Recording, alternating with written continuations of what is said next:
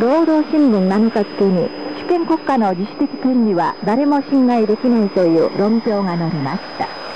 論評は先日中国全国人民代表大会第13期第3回会議で香港での国家安全を守るための法制及び執行システムを樹立し完備するための決定が採択された。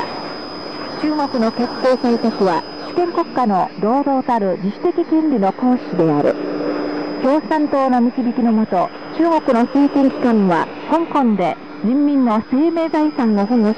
国の安全を守るためいろいろな措置をとっている。独立の分離のもと香港を中国領土から分離させようとの企みは中国にとって絶対容認できないことだ。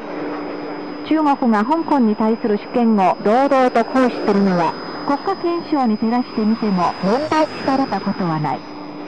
中国の主権行使のことでプレッシャーをかけ中国分裂を実現するため公然と企んでいるのは第三者の立場から見てもとても懸念すべきことだ。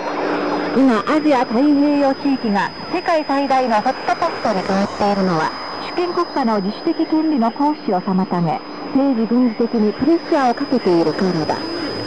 香港の先住民も香港国家安全法の制定は一国二制度を禁じし香港市民の合法的権益を保障するためのものだと言い積極的に歓迎している。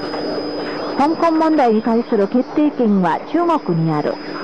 国の主権と安全発展利益を守るための中国の全ての措置は極めて正当なものだこう強調しています。以上でこの時間のニュースを終わります。アナウンス担当は関ンでした。